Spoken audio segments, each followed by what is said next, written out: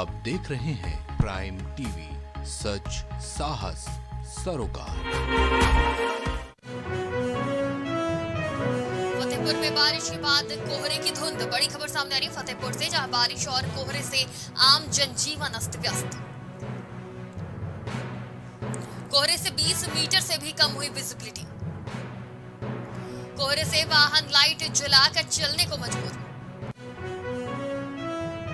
फतेहपुर में बारिश के बाद कोहरे की धुंध। तस्वीरें देख सकते हैं आप, बारिश के बाद कितना घना कोहरा छा रहा है। आम जनजीवन अस्त व्यस्त हो गया है। कोहरे से 20 मीटर की भी विजिबिलिटी कम हो गई है। कोहरे से वाहन लाइट जलाकर चलने को मजबूर है। फतेहपुर में बारिश के बाद कोहरे की धुंध। बारिश और कोहरे से ही आम जनजीवन अस्त व्यस्त। कोहरे से 20 मीटर से भी कम हुई विजिबिलिटी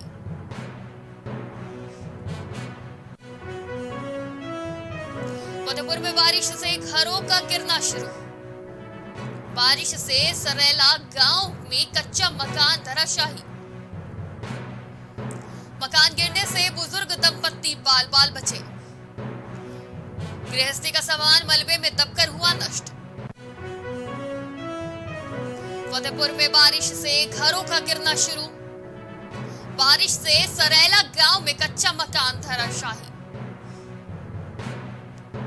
मकान गिरने से बुज़ुर्ग दंपत्ति बाल बाल बचे। गृहस्थी का सामान मलबे में दबकर हुआ नष्ट। फतेहपुर में बारिश से घरों का गिरना शुरू। बड़ी खबर सामने आ रही है, जब बारिश का कहर देखने को मिल रहा है। बाल बाल बचे दंपत्ति। बलिया से बड़ी खबर सामने आ रही है। जिलाधिकारी इंद्र विक्रम सिंह ने लगवाया बूस्टर डोज। बलिया कलेक्ट्रेट सभागार में लगाया गया कैंप। जिलाधिकारी ने वैक्सीन लगवाने की की अपील। बलिया से बड़ी खबर सामने आ रही है।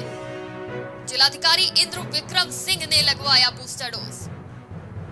बलिया कलेक्ट्रेट सभागार में लगाया गया कैंप। बड़ी खबर सामने आ रही है। बलिया से जिलाधिकारी ने वैक्सीन लगवाने की की अपील। बलिया से बड़ी खबर सामने आ रही है। जिलाधिकारी इंद्र विक्रम सिंह ने लगवाया बूस्टर डोज। लखनऊ से इस वक्त की बड़ी खबर सामने आ रही है। राजधानी में कोरोना के 1115 नए मामले।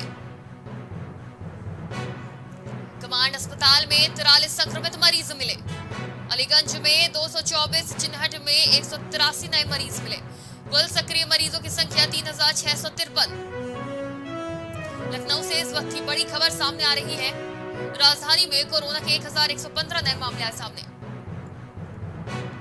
कमांड अस्पताल में तिरालीस संक्रमित मरीज़ भर्ती। अलीगंज में 224 चिन्हट में एक सौ तिरासी नए मरीज़। कुल सक्रिय मरीजों की संख्या तीन हज़ार छह सौ तिरपन। लखनऊ से इस वक्त की बड़ी खबर सामने आ रही है। राजधानी में कोरोना का कहर, मामले 115 आए सामने। महोबा में कांग्रेस नेता पर जानलेवा हमला, छत्रपाल यादव को जान से मारने की कोशिश। कांग्रेस युवा मोर्चा के जिला अध्यक्ष है छत्रपाल। बीच बचाव में आए एक रिश्तेदार भी घायल। गंभीर हालत में युवक झांसी रेफर। अज्ञात दबंगों ने कई राउंड की फायरिंग। फायरिंग की सूचना पर कांग्रेसियों में रोष। पुलिस मामले की जाँच पड़ताल में जुटी। महोबा में कांग्रेस नेता पर जानलेवा फायरिंग, छत्रपाल यादव को जान से मारने की कोशिश। कांग्रेस युवा मोर्चा के जिला अध्यक्ष है छत्रपाल। बीच बचाव में एक रिश्तेदार भी घायल।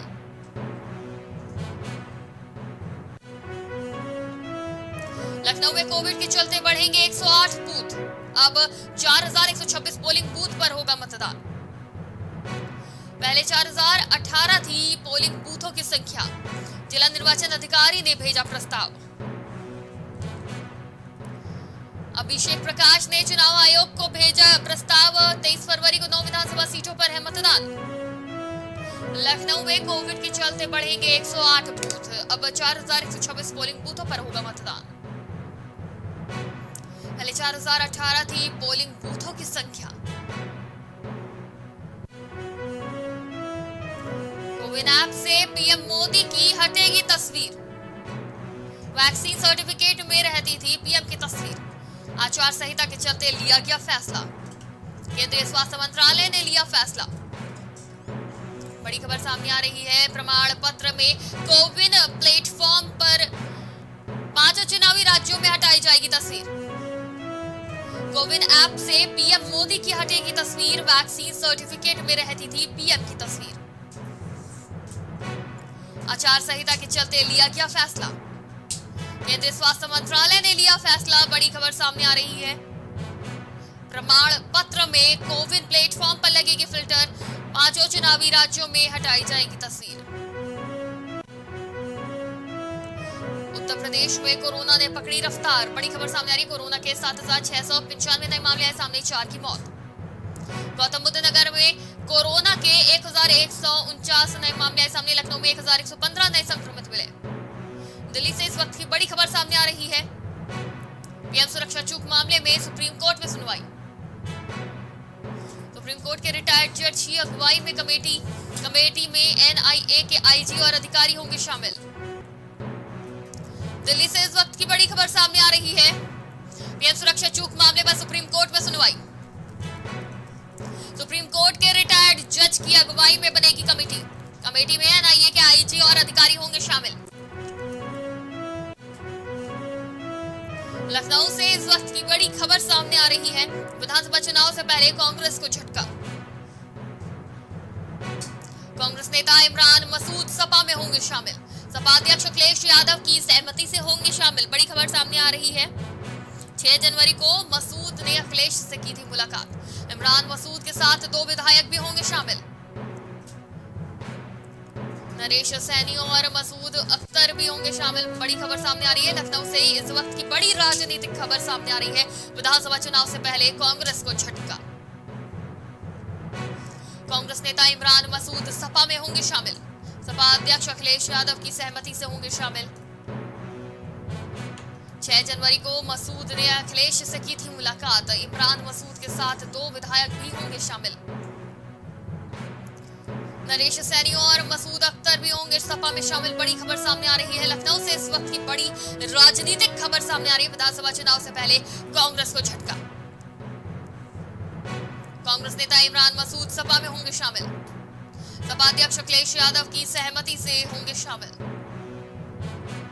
6 जनवरी को मसूद ने अखिलेश से की थी मुलाकात। बड़ी खबर सामने आ रही है। इमरान मसूद के साथ दो विधायक भी होंगे शामिल। नरेश सैनी और मसूद अख्तर भी होंगे सपा में शामिल। बड़ी खबर सामने आ रही है लखनऊ से। विधानसभा चुनाव से पहले कांग्रेस को बड़ा झटका। उत्तर प्रदेश से इस वक्त की बड़ी खबर सामने आ रही है। तेईस जिलों में अगले 24 घंटे में तेज बारिश का अलर्ट। मौसम विभाग ने कई जिलों में किया अलर्ट जारी। बांदा, चित्रकूट, रायबरेली सहित कई जिलों में अलर्ट।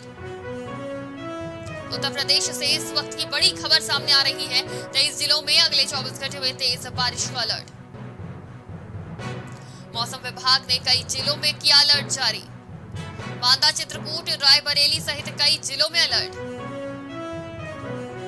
उत्तर प्रदेश से इस वक्त की बड़ी खबर सामने आ रही है। तेईस जिलों में अगले 24 घंटे में तेज बारिश का अलर्ट। मौसम विभाग ने कई जिलों में अलर्ट किया जारी। बांदा, चित्रकूट, रायबरेली सहित कई जिलों में अलर्ट जारी। फतेहपुर में आदर्श आचार संहिता का उल्लंघन, बड़ी खबर सामने आ रही है। बसपा प्रत्याशी ने आचार संहिता का किया उल्लंघन। प्रत्याशी ने दर्जनों वाहनों के साथ निकाली रथ यात्रा। सोशल मीडिया पर जमकर वायरल हो रहा है वीडियो। बिंदकी विधानसभा क्षेत्र का मामला। फतेहपुर में आदर्श आचार संहिता का उल्लंघन, बड़ी खबर सामने आ रही है। बसपा प्रत्याशी ने आचार संहिता का किया उल्लंघन।